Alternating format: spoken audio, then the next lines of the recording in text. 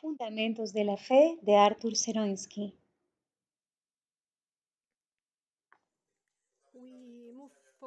Avanzamos en estas enseñanzas fundamentales. La última vez hablamos sobre el tema de la iglesia y el bautismo en el Espíritu Santo. Seguimos adelante y me gustaría enseñar sobre el ministerio o el servicio en el reino de Dios.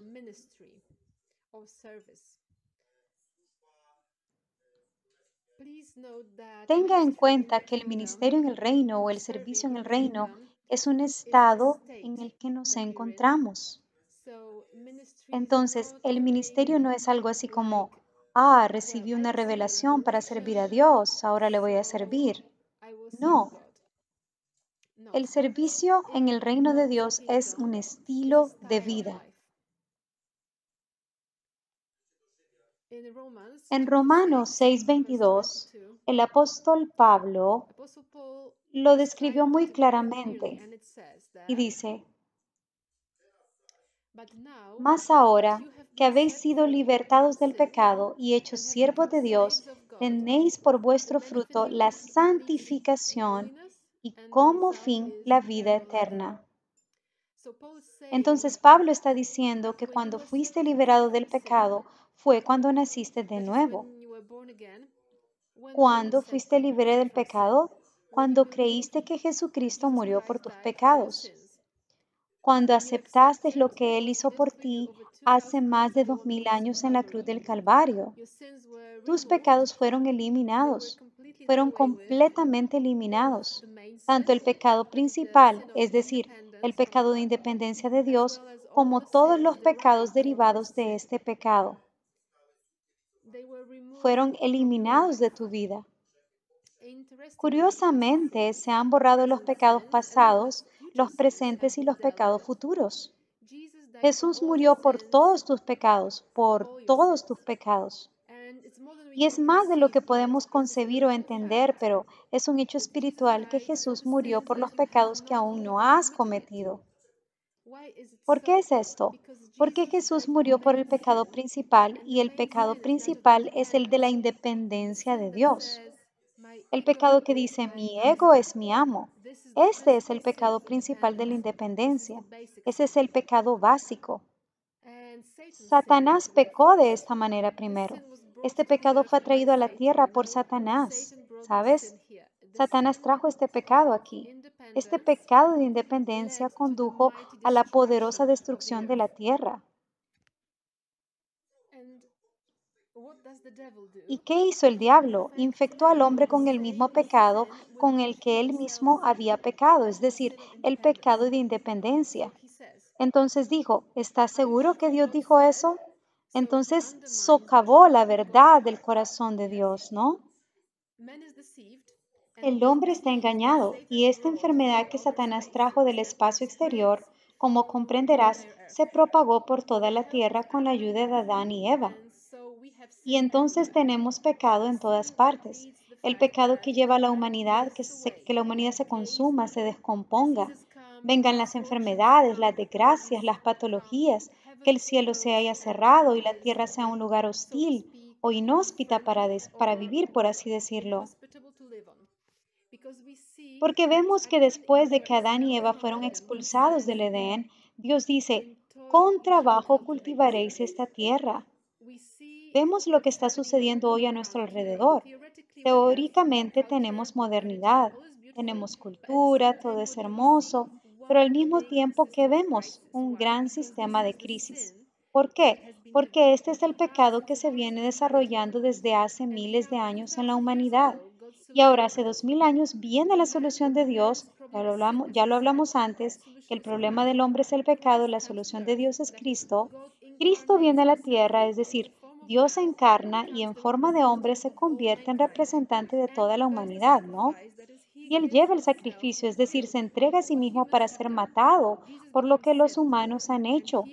Jesús se vuelve pecado y aquí la palabra de Dios dice, pero ahora que habéis sido libertados del pecado, es decir, estamos libres del pecado, liberados.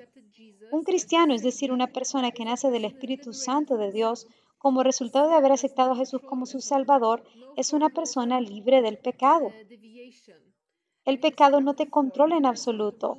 Cualquier forma de desviación, es decir, cualquier forma destructiva, no te gobierna más. Los cristianos no son personas en pecado, sino personas libres del pecado. Por eso siempre le digo a la gente, ¿sabes por qué pecas? Porque quieres, no porque tengas que hacerlo. Ningún hombre nacido de nuevo tiene que pecar, así como ninguna persona nacida del Espíritu de Dios tiene que estar enferma. Nadie tiene que ser pobre, nadie tiene que ser miserable, no.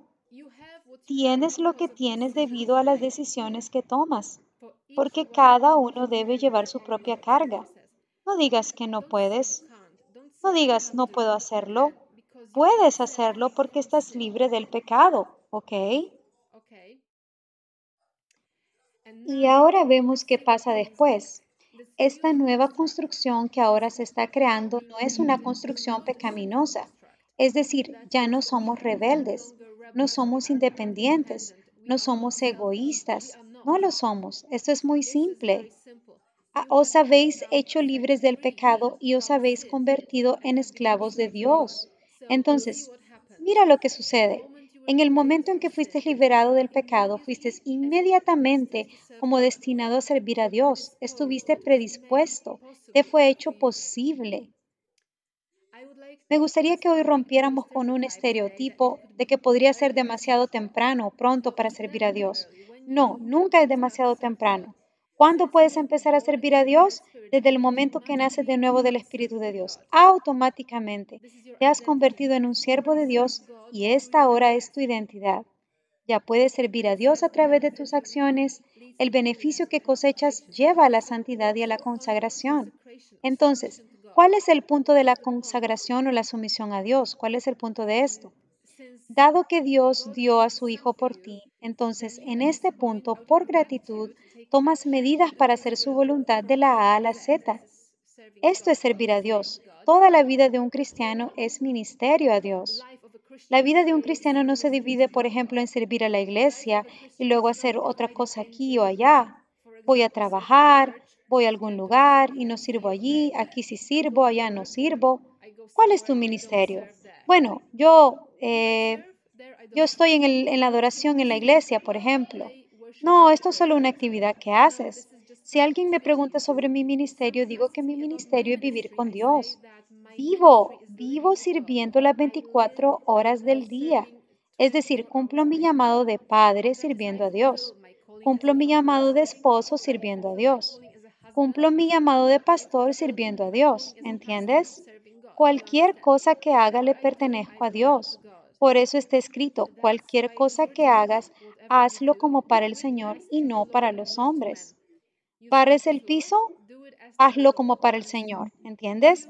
¿Trabajas en una computadora? Hazlo como para el Señor. ¿Ayudas a la gente? Como para el Señor. Hagas lo que hagas, hazlo como para el Señor. Todo. La razón por la que comes bien es para poder vivir el mayor tiempo posible con salud en esta tierra y llevar el Espíritu de Dios, ¿entiendes?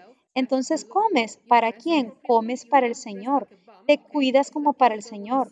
Te vistes apropiadamente como para el Señor, no como un vagabundo que la gente te vea raro, sino solo vístete de tal manera que los demás te vean como un rey. ¿Por qué? Porque lo haces como para el Señor. Un amigo mío tuvo cierta visión, fue transportado en el espíritu a los tiempos del rey David. Sé que para algunas personas es extraño, pero él tenía este tipo de visiones. Fue transportado tres mil años atrás en el espíritu, y en algún momento de esta visión se encontró en el desierto y vio que venía un carro. No sabía en absoluto lo que había sucedido, y pasaba este carro y se detuvo justo al lado de él. Y el rey David conducía el carro y miró al rey David, y allí terminó la visión y solo se acordó del rostro de David. Y lo que recordó fue que dijo, cuando miré, miré el rostro de David, entonces vi el poder, el poder de Dios. Este hombre brillaba, David brillaba totalmente, representaba a Dios. ¿Qué le mostró el Espíritu Santo? Mostró lo que significa que David era un hombre conforme al corazón de Dios. No deberíamos ver esto desde un punto de vista moral, ¿ok? No lo miraremos así. Porque es un elemento muy pequeño que alguien sea moralmente decente en un área determinada y David no era tan decente en absoluto, ¿verdad? Si somos honestos. Su primera actividad en su ministerio a Dios fue que, con un grupo de 400 matones que no pagaban sus deudas a varios ricos y estaban en fuga, con ese grupo asaltaba ciudades y pueblos y los saqueaba. A ellos, a los filisteos. Tales fueron sus comienzos, ¿no? Y leemos, y el Señor estaba con él. Y esto es poderoso para mí. Cuando leo cosas así, ¿comprendes? Tengo un punto de vista diferente. Ya sabes, el Señor estaba con él. Hay un artículo en el Código Penal 210, sección 2, que es robo a mano armada. Ya sabes a qué me refiero. Le pueden dar desde 5 años hasta 25 años de prisión. Digo, David estaba perpetrando un robo a mano, a mano armada allí en Jerusalén. Era un grupo criminal organizado. Saquearon a todos sin sentimiento de culpa por ello y el Señor estaba con él. Oh Dios, yo digo, ¿qué clase de historia es esta? Pero vemos en general que toda nuestra vida es un ministerio a Dios. Así que no existe tal cosa que usted esté sin ministerio. No existe tal opción. El ministerio es un estilo de vida. Mañana te levantas por la mañana y eres siervo del Altísimo, ¿entiendes? Hablo en términos un, siervo por pasión y determinación. Eres un amigo de Dios. Por amor y gratitud eres su siervo.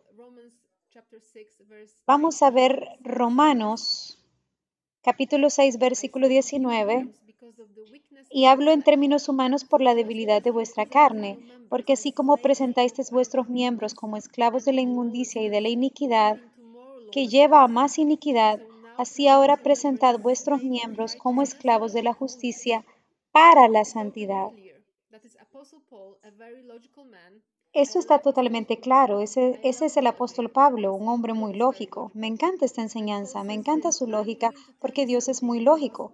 Y Pablo dice esto, les voy a decir una cosa, porque le hicieron preguntas. ¿Cómo debemos servir a Dios? ¿Qué significa que debemos servir a Dios? Lo explicaré. Así como presentáis vuestros miembros como esclavos de la inmundicia, vuestras manos, vuestros pies, vuestras cabezas, vuestros ojos, vuestros oídos, todo lo que tenías, ¿no? Tu cuerpo entero, con la misma pasión y determinación, de la misma manera, comienza a hacer toda clase de obras de Dios, con la misma pasión e interés con el que solía beber, bailar, jugar, hacer de todo, tenías diferentes aficiones, etc. ¿Entiendes? Ahora, debes servir a Dios con el mismo celo. No lo sé, por ejemplo, llegaba el viernes, era viernes, terminabas tu trabajo y salías a divertirte, ¿no? Y de viernes a sábado, de sábado a domingo, domingo descansabas, te curabas la resaca, ¿no? Entonces todo el fin de semana lo dedicabas a la fiesta, ¿no? Y ahora vas a hacer una gran fiesta de fin de semana para Dios. Así usarás tu fin de semana para servir a Dios. O tal como solías sentarte también hipnotizado frente al televisor viendo partidos de fútbol. Así es como pasarás ahora ese tiempo en el ministerio a Dios. A menudo la gente me pregunta, ¿entonces no puedo tener un hobby? Yo les digo, puedes hacerlo si encuentras tiempo. Por favor, encuentra tiempo para pasatiempos. Encuentra tiempo para un pasatiempo. Un señor me llama un día y me dice así, tengo que dejar el, acuario. Yo digo, ¿por qué? Y él me dice, estoy atado por este acuario. Y él dice, yo también voy a pescar, estoy atado a los peces, me dice. Eso es lo que siento. Yo digo, ya sabes, cada persona tiene vínculos diferentes, tú tienes estos vínculos. Pero Arthur me dice, ¿es normal que tenga remordimientos de conciencia que pase tanto tiempo con los peces? Yo digo, sí, es normal, es muy normal. Este era un muchacho que una vez vino a verme conduciendo media Polonia junto con sus amigos y me dijo, mira, nací del Espíritu de Dios, pero no estoy bautizado con el Espíritu Santo. Estábamos sentados y comiendo pizza en una pizzería. Terminé mi pizza y digo, ahora te voy a imponer las manos y será bautizado en el Espíritu Santo. Le puse las manos encima y cayó debajo de la silla. Luego salió de debajo de la silla. Escucha, tomó su café, se subió al auto, comenzó a hablar en otras lenguas y así habló durante 400 kilómetros. Cuando llegó a su casa dejó de hablar en lenguas, ya sabes. El caso es, ahora este chico me llama y me dice, esto es lo que estoy obligado y le digo, ok, te entiendo, de verdad.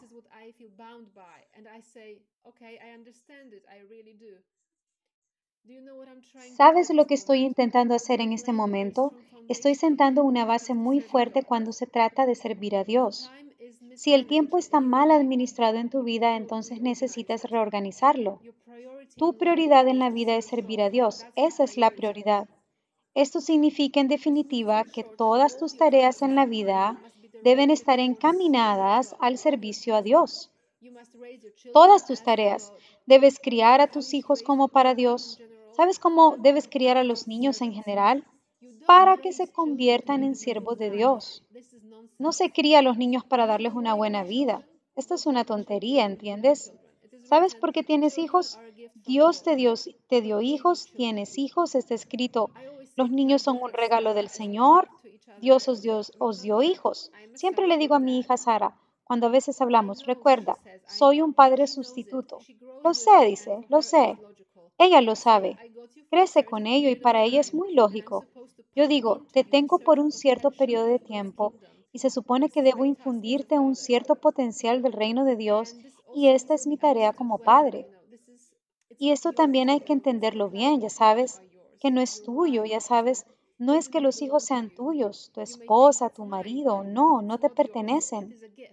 Quizá pienses es mío, pero no, no es tuyo, es un regalo, un regalo el mismo don de profecía, el de hablar en otras lenguas, el de profetizar, el de sanar enfermos, el de echar fuera demonios, todos los demás, todos estos son dones. Tenemos estas cosas y son regalos. El hecho de que comamos normalmente y podamos disfrutar de una buena comida y bebida, todos estos son regalos. Todo lo que hagas, como si lo hicieras para el Señor, hazlo, no para los hombres. Toda nuestra vida debe ser un ministerio y nuestro compromiso debe ser del 100%. He escuchado varias enseñanzas y estas enseñanzas suenan bien, porque son tan humanistas que dicen, mira, primero está Dios, luego está la familia, luego está la iglesia. Así es como la gente construye su pensamiento, pero yo digo, ¿qué es esto? ¿De dónde sacaste esto? Yo mismo pensé así por un tiempo porque fui engañado por varios líderes religiosos, ¿sabes? Ellos plantaron este pensamiento en mí y después hice lo mismo con otras personas. Entonces tuve que arrepentirme y pedirle a Dios que estas personas no sufrieran daño por lo que les dije en ese momento. Ten piedad de este pueblo y de mí, Dios. Ahora entiendo una cosa muy básica. Somos libres del pecado y consagrados para ser siervos de Dios.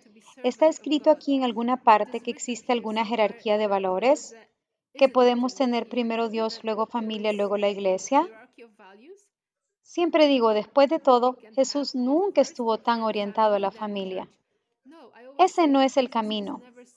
Se supone que nuestros matrimonios son un ministerio. Esto es muy importante. Si tan solo los matrimonios pudieran comprender esta simple verdad, muchos problemas se resolverían de inmediato. La gente dejaría de tener falsas expectativas unos de otros. Tú eres mi esposa, tú eres mi marido. No, ambos pertenecemos al Señor. Me entrego a ti, me entrego a ti. ¿Por qué? Porque amo a Jesús. Porque amo a Jesús. Mi esposa dijo que esta es la única razón por la que nuestro matrimonio se ve como ve y funciona como funciona, porque ella ama a Jesús más que a mí. Y esta es la verdad de Dios.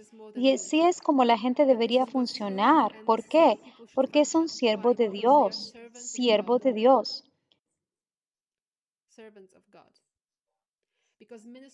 Porque el ministerio debe ser tu prioridad. No funciona, repito, no haciendo cosas, porque dije antes, todo lo tenemos de gratis, por gracia. No somos activistas, no nos ganamos el favor de Dios con nuestras acciones. Yo digo, hagas lo que hagas, hagas algo, no hagas nada, Dios te ama igual, Dios te acepta igual, Dios te quiere igual, no importa si estás activo, ese no es el punto. Te diré más, Dios no requiere nada de ti. Esto es lo sorprendente cuando, se trata del nuevo pacto. Dios no requiere nada de ti. La gente dice, Dios quiere esto de mí, Dios me hizo hacer esto. Yo digo, Él no me obligó a hacer nada. No escuché a Dios decirme que tenía que hacer algo. Él simplemente me dice algo, ¿entiendes? Él me habla. Yo sé una cosa, no me queda otra cosa que hacerlo. ¿Sabes por qué? Porque no tengo a dónde ir. ¿Tú entiendes? Jesús se vuelve hacia sus doce que estaban con él, después de que mucha gente se ha ido y les dice, ¿también vosotros queréis iros? Y Pedro dice, pero no tenemos a dónde ir. Pero Pedro siempre puede volver a su antigua vida, ¿no? Pedro tiene esposa, Pedro tiene suegra, y es una suegra bastante buena porque vive con ellos, ya sabes. La esposa también está bien porque la lleva a ministrar con él. Entonces esta no es una mujer loca, sino una mujer piadosa normal, ¿verdad? Fíjate, Pedro también tiene una profesión. Es pescador profesional, ¿no? Él también tiene diferentes inclinaciones, tiene diferentes aficiones, tiene compañía, familia, ¿entiendes? Pero ¿qué dice? ¿A quién iremos? No tengo a dónde ir. Dice, no tengo a dónde ir. Mira, ve que, ve que fuera de, de Cristo hay vacío, hay un vacío total. Hay una película antigua que se llama Los Langoriers. Es una película de ciencia ficción donde un avión es transportado como a otra dimensión y es una especie de lugar donde hay otras personas. Aterriza en algún lugar y en cierto punto es como si la realidad comenzara a devorarse. Vemos a estas grandes bocas devorar la realidad en la película. Así que recibí una revelación genial de esta película que las cosas viejas se han ido. Ya sabes, no existe el ayer. Se están comiendo los restos del ayer. Esto significa que lo único que importa es el hoy. Es el hoy, ¿vale? Entonces fuera de Cristo no hay nada. Por eso tu ministerio es vivir en Cristo las 24 horas del día. En definitiva, un cristiano es algo que alguien que se levanta por la mañana, ¿no? Y dice, Señor, estoy listo, estoy listo. Me voy, me dirijo directamente a este mundo, no importa lo que está pasando a mi alrededor. ¿Por qué? Porque esta es mi identidad. Esta es mi identidad. Estoy en tu ministerio, soy tu brazo fuerte.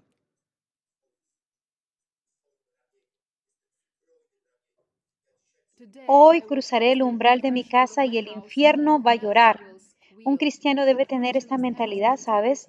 No nos levantamos por la mañana y decimos, ay, qué difícil es todo. ¿Lo entiendes? No es difícil. En la Legión Armada extranjera, nos levantábamos a las 4 de la mañana. Teníamos que ser rápido. No decíamos que fuera difícil. Tenías que levantarte por la mañana y estar convencido de que este día sería otro día en el que no solo sobrevivirías, sino que incluso vas a y prevalecerías. ¿Entiendes? Que prevalecerás en este día ¿Por qué? Porque tú estás llamado a ello, predispuesto a ello y totalmente equipado. Te levantas por la mañana, eres siervo de Dios, te acuestas por la tarde, eres siervo de Dios, caes en pecado ya sea de alma o de cuerpo, pero sigues siendo siervo de Dios. No te quita ser siervo de Dios, no te quita nada, no te quita la dignidad como siervo de Dios. ¿Por qué? Porque estás destinado. Esta es tu identidad. Más que eso, debes hacerlo con la misma ferocidad con la que pecaste. Así como pecaste, ahora debes servir con la misma fuerza, fiereza y determinación. Simplemente así. Y una última cosa, Cantar de los Cantares, capítulo 1, versículos 7 al 8.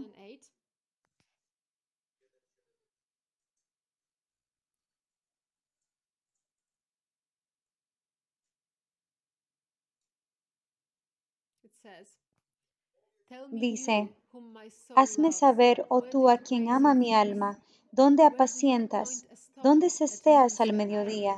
Pues, ¿por qué había de estar yo como errante junto a los rebaños de tus compañeros? Si tú no lo sabes, oh hermosa entre las mujeres, ve, sigue las huellas del rebaño y apacienta tus cabritas junto a las cabañas de los pastores. Cantar de los Cantares es el único libro de la Biblia donde no se menciona la palabra Dios. Este es un libro donde, donde en realidad se describen dos personas, hombre y mujer, y su amor. Es uno de los libros más interesantes del Antiguo Testamento, en mi opinión, de donde se pueden sacar tantas cosas. Algún día hablaremos más sobre ello, pero se puede sacar mucho de la realidad espiritual y de la realidad espiritual del Nuevo Testamento. Este libro también describe cosas que no se describen hasta este punto en ningún otro libro sobre la vida matrimonial y muchas otras cosas. Pero la analogía de toda la canción es la analogía de la dependencia de la iglesia de Cristo. El hombre es Cristo y la mujer es la iglesia. Y cuando ella le pregunta si la iglesia, es decir, la creación recién nacida, le pide al Señor, dime, ¿dónde pastan tus rebaños para que yo no tenga que vagar entre los rebaños de tus compañeros? Así pregunta un hijo de Dios a Dios, Señor, ¿qué haré en tu reino? Siempre digo esto, tienes que pasar tiempo con Dios para que puedas descubrir cuál es tu llamado. Y tienes que reconocer tu llamado porque Dios quiere que lo sepas y Dios te permitirá hacerlo. Por otro lado, mientras no veas claramente tu llamado, la palabra de Dios continúa diciendo, si no lo sabes, Dios responde, entonces sigue las huellas de las ovejas y apacienta a tus hijos junto a las chozas de los pastores. Y este pasaje muestra cuán importante es el liderazgo espiritual en la iglesia. Si alguien no lo sabe, yo siempre digo esto, la gente me pregunta, ¿qué debo hacer? Y yo digo esto, ve, pregúntele a tu pastor, él te lo va a decir. Hay mucho trabajo que hacer en la iglesia, hay mucho trabajo en el reino de Dios. Si aún no lo sabes, si no estás convencido, si no tienes una guía directa en un área determinada, para eso están los líderes espirituales. Dios estructuró estas cosas de esta manera. No estoy diciendo otra vez, ya sabes, cuál es mi opinión sobre el liderazgo en la iglesia. No estoy hablando de personas que están solo empleados o, que son como mercenarios, personas empleadas solamente para hacer algo en la iglesia. No, no estamos hablando de este tipo de personas. De esas personas hay que huir.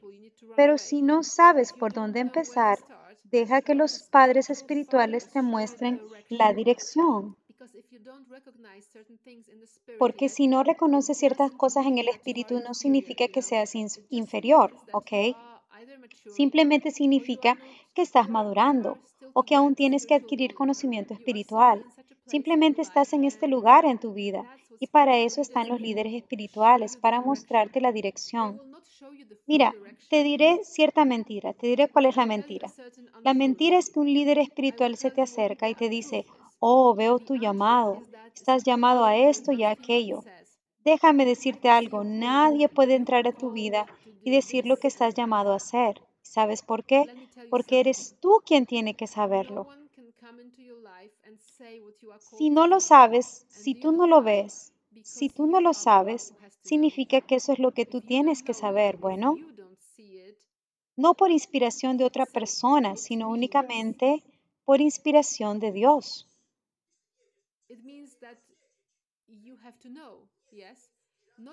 Y Dios mismo te inspira, solo que aún no lo has podido comprender, no lo has podido leer. Entonces, tu trabajo es saber, descubrir. Yo digo, debes saber lo que tú quieres en la vida, ¿ok? Necesitas saberlo, debes saberlo. Si bien el liderazgo espiritual está ahí para ayudarte a reconocer la, la voz de Dios, ¿entiendes? Pero no para dejarte en el limbo. Bueno, no para dejarte como inmóvil, como desempleado. Porque si el liderazgo espiritual esperara a que usted escuchara de Dios, podría llevar mucho, mucho tiempo. Y hay mucho servicio por hacer en la iglesia. Siempre digo esto, si no lo sabes hoy, te diré lo que hay que hacer, ¿de acuerdo? La evangelización es el viernes. Debes estar ahí. Yo digo, son siempre, siempre, siempre necesarios para evangelizar, para sanar, para expulsar demonios, siempre. No necesitas una unción especial para hacer eso. Eres capaz de hacerlo. No se necesita una unción especial tampoco para ayudar en la vida comunitaria. No necesitas una unción especial para eso, ¿entiendes? Y con el tiempo, por ejemplo, ves que algo comienza a surgir en ti, algo surge, algo se crea. Entonces vemos que estamos destinados a servir a Dios. Eres un siervo de Dios las 24 horas del día. Debes servir a Dios al máximo en tu vida, en todos los aspectos y en todos los campos. No hay santo ni profano en tu vida. No existen tales cosas. No hay vida espiritual y vida no espiritual. No divides tu vida de esta manera. Hay, una vida con Dios y punto, ¿ok? Una última cosa, si aún no ves tu llamado, si no disiernes tu llamado, para eso están los líderes espirituales, para que te ayuden en eso, ¿ok? E incluso si puedes ver tu llamado, tus líderes espirituales también están ahí para ayudarte a desarrollar tu llamado. Porque está escrito en Efesios, ¿verdad? Que para esto son los oficios de Dios para llevar a la perfección a las personas que ya tienen una revelación de lo que han de hacer en el reino de Dios. Entonces, este es el fundamento en cuanto al tema del ministerio.